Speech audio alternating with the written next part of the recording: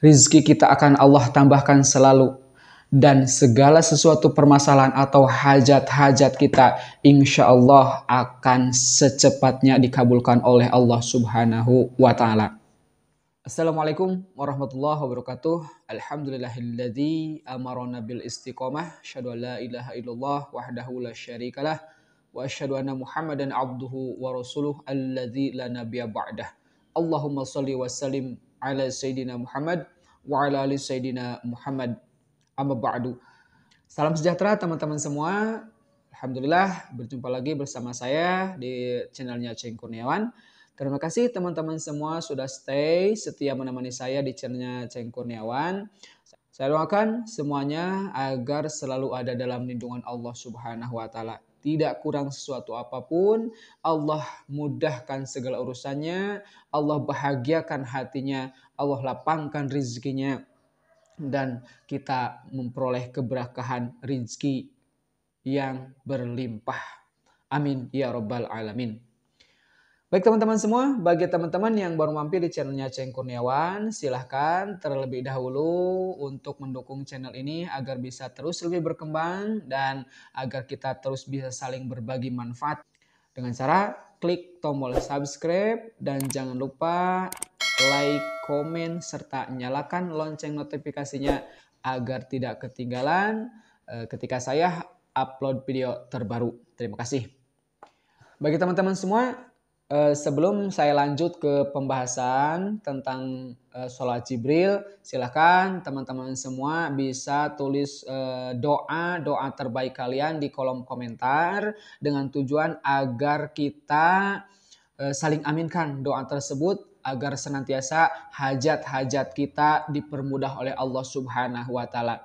Tapi mohon maaf sebelumnya teman-teman, sebelum kita menuliskan doa di kolom komentar, alangkah baiknya setiap doa kita yang kita panjatkan kepada Allah Subhanahu wa taala, coba deh kita lakukan yaitu dengan cara berdoa dengan cara bersyukur ya untuk caranya seperti apa teman-teman? Berdoa dengan cara bersyukur nanti akan saya tulis di deskripsi salah sebagai salah satu contohnya atau nanti di kolom komentar ya. Saya tuliskan misalkan seperti ini ya teman-teman. Alhamdulillah terima kasih ya Allah atas segala karunia yang telah Engkau berikan atas nikmat-nikmat yang selalu engkau berikan. Baik itu nikmat iman, nikmat Islam, nikmat sehat jasmani dan sehat rohani, dan lain sebagainya. Terima kasih ya Allah atas semua karunia yang telah engkau berikan tiada henti kepada hambamu ini. Intinya kita gunakan kata-kata syukur sebelum kita memulai doa. Ya. Sebelum ke pembahasan, uh, sedikit ada beberapa komentar atau ada beberapa testimoni yang masuk. Ini dari teman kita, saudara kita, ya, eh, yang mana beliau mungkin telah mengamalkan sholawat ini seperti ini ya. Assalamualaikum warahmatullahi wabarakatuh. Alhamdulillah eh, saya sudah mulai istiqomah mendawamkan sholawat dan alhamdulillah semua urusan dimudahkan dan hutang sudah lunas sekarang. Masya Allah, Alhamdulillah. Dan ada lagi teman-teman semua, ini mungkin ini akan menyentuh kita ya, selain tadi kita hutang lunas ataupun segala urusan dimudahkan. Ini ada saudara kita, eh, mohon maaf, ini namanya Rahmat Batubara.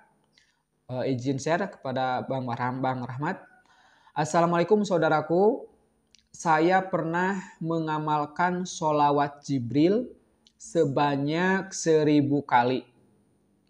Pada hitungan ke-989, hati saya terasa rindu kepada Rasulullah Wasallam. Dada terasa sesak, maunya mau menjerit, saking rindunya, masya Allah, sampai merinding ya saya belum pernah merasa kerinduan ini sepanjang hidupku. Masya Allah teman-teman semua. Jadi uh, itulah testimoni tadi masih banyak lagi testimoni yang mungkin untuk sekarang uh, cukup aja dua dulu ya. Yang tadi yang pertama ini uh, beliau sudah memulai istiqomah menjalankan atau membaca solawat Alhamdulillah semua urusannya dimudahkan dan hutang-hutangnya pun sudah lunas sekarang Alhamdulillah. Dan tadi yang kedua eh, saudara Rahmat Batubara merasakan kerinduan yang sangat seakan-akan beliau ingin menjerit dan beliau merasakan baru katanya baru sekarang merasakan rindu yang sangat teramat. Yang ini rindunya bukan kepada uh, apa bukan kepada saudaranya tapi kepada junjungan kita Nabi Muhammad sallallahu alaihi wasallam. Allahumma shalli ala sayyidina Muhammad wa ala ali sayyidina Muhammad. Oke teman-teman.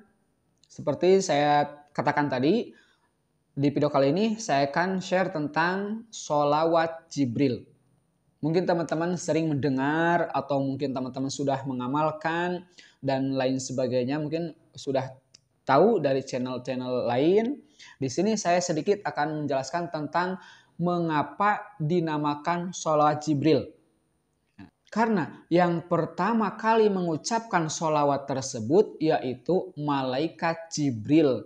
Ketika itu malaikat Jibril memberikan pelajaran kepada Nabi Adam ketika Siti Hawa diciptakan oleh Allah, Siti Hawa diciptakan, Nabi Adam ingin mendekati. Nah, sebelum itu Nabi Adam diperintahkan untuk membayar mahar terlebih dahulu sebelum mendekati atau sebelum memegang Siti Hawa.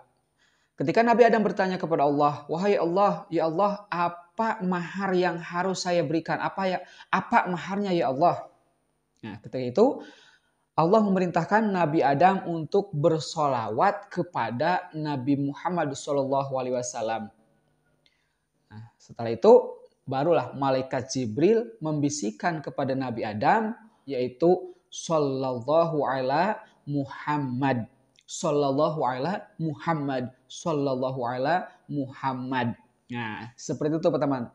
Kenapa dinamakan sholat Jibril? Karena yang pertama kali melafazkannya yaitu malaikat Jibril dengan bacaannya seperti tadi sallallahu ala Muhammad. Itu tuh teman-teman sedikit penjelasan tentang solawat Jibril. Bagaimana caranya mengamalkan solawat Jibril tersebut?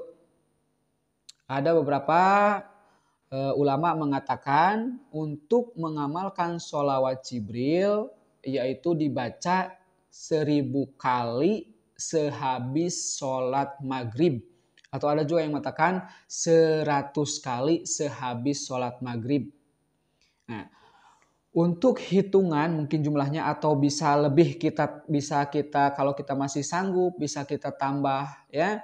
Bisa kita tambah entah itu 1000, 2000, 3000 bahkan 10000 silahkan teman-teman semua kalau masih ada waktu luang kita tambahkan. Lebih banyak lagi bersolawat yakin keajaiban atau kelebihan keutamaan dari sholat tersebut yakin akan kita rasakan kalau saya insya Allah mengamalkan sholawat Jibril yaitu sebanyak 4444.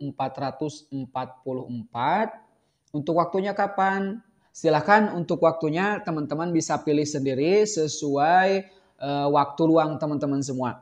Kalau saya seperti biasa tadi mengamalkannya yaitu uh, 4444 sehabis uh, sholat hajat biasanya. Sehabis isya saya sholat hajat saya amalkan sebanyak 4444 kalau kita mau mengamalkan sholawat Jibril ini sangat banyak sekali manfaat atau faidah yang bisa kita rasakan. Di antaranya yakin kalau kita sering membaca sholawat kita akan lebih dekat dengan Rasulullah SAW dan kita akan mendapatkan syafaat dari Rasulullah Shallallahu Alaihi Wasallam.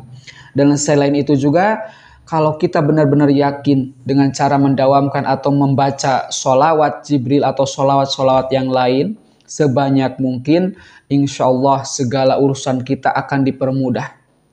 Rizki kita akan Allah tambahkan selalu dan segala sesuatu permasalahan atau hajat-hajat kita insya Allah akan secepatnya dikabulkan oleh Allah subhanahu wa ta'ala.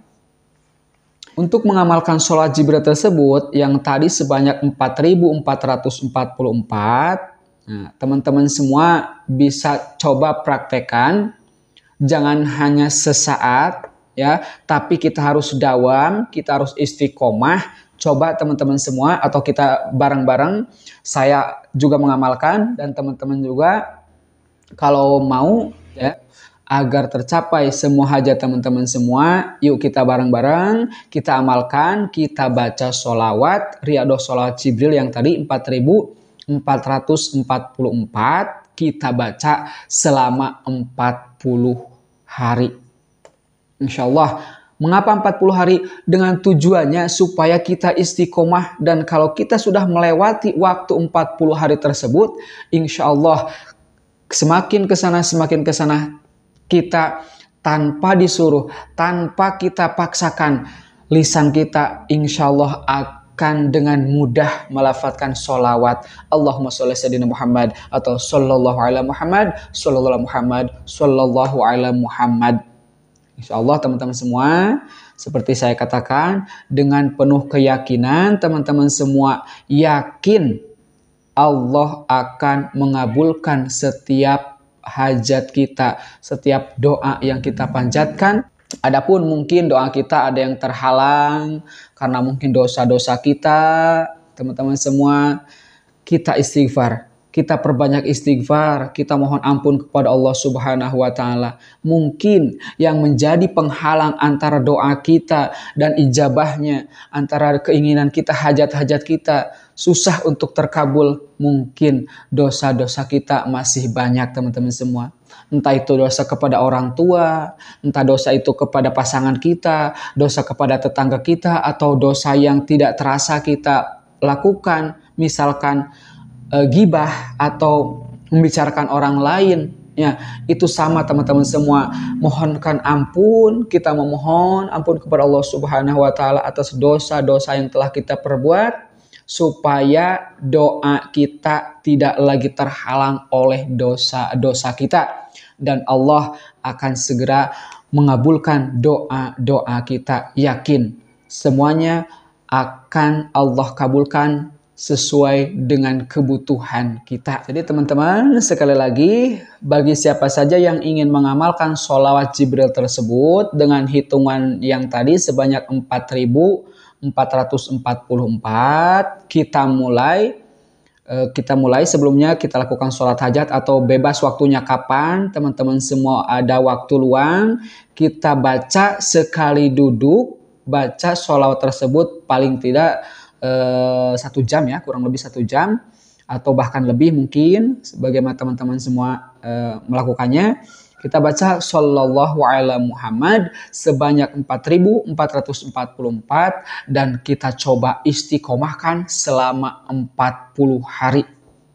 Insya Allah kalau kita sudah membiasakan, mendawamkan, mengistiqomahkan bacaan sholat tersebut setelah 40 hari insya Allah bahkan mungkin sebelum 40 hari sebelum 40 hari Allah akan datangkan keajaiban kepada kita. Asal kita yakin doa kita tidak terhalang insya Allah semuanya akan mudah. Dan selain kita membaca sholawat yang 4444 itu yang khusus ya bagi teman-teman kalau ada waktu luang ketika bekerja atau ketika di kantor atau ketika di mana pun itu teruslah kita baca sholawat tersebut sebanyak-banyaknya. Bahkan ada teman salah satu teman kita yang sedang berada di Taiwan ya, beliau membaca istighfar sebanyak seribu kali katanya membaca sholawat sebanyak dua ribu kali itu yang sholawat Sadina Muhammad ya Sayyidina Muhammad dan beliau mengamalkan sholawat Jibril sebanyak 15.000 kali Masya Allah itu teman-teman kita loh yang di Taiwan sana ya Akhirnya dari itu kita semua siapa pun boleh mengamalkan bacaan sholawat.